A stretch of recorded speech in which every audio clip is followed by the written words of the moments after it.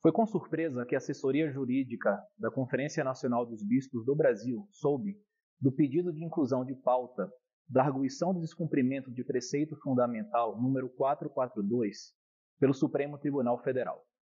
A DPF 442, basicamente, tem por objetivo a legalização do aborto no Brasil e se funda, dentre outros, em três princípios. O primeiro princípio seria o suposto princípio da irrelevância jurídica da vida intrauterina. Esse princípio, que inclusive em outros países já pavimenta o aborto em qualquer estágio da gestação, aqui, nesta ação, busca a possibilidade de eliminação da vida até a 12 semana de gravidez.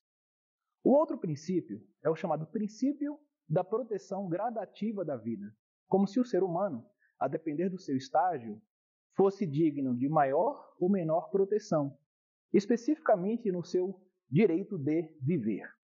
Finalmente, a terceira suposta teoria é a teoria ou princípio do direito constitucional ao aborto, que simplesmente inexiste na nossa Constituição, não passando de um argumento absolutamente falacioso. Pois bem, em um breve vídeo nós não poderemos, claro, esgotar esse assunto. Mas o fato concreto é que preocupa a maneira assodada e que nos parece ser inoportuna do chamamento de, do julgamento deste processo. Não só a CNBB, como diversas outras instituições, vem pedindo, já faz cinco ou seis anos, para participar deste julgamento na qualidade de amicus curiae, que é uma espécie de coparticipação no julgamento. Bem, a observar o calendário e a maneira pelo qual ele foi marcado, muito provavelmente essa participação não existirá.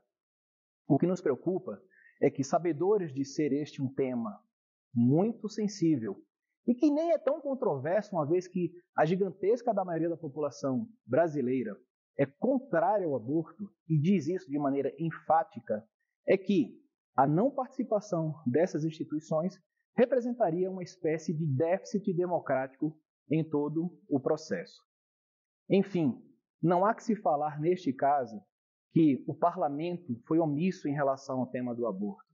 O Supremo Tribunal Federal, ao resolver enfrentar esse assunto e literalmente legislar, inovar, modificar as normas existentes e produzir outras normas, ultrapassa os seus limites.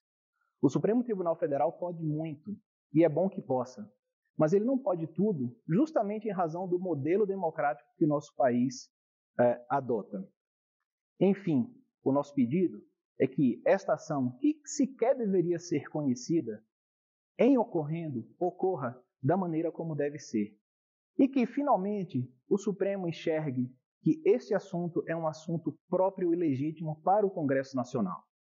O Brasil já regula esta matéria, nós temos normas sobre isso, nós somos signatários de tratados internacionais que expressamente protegem a vida e não há porquê modificar essa regra pelo caminho que se pretende.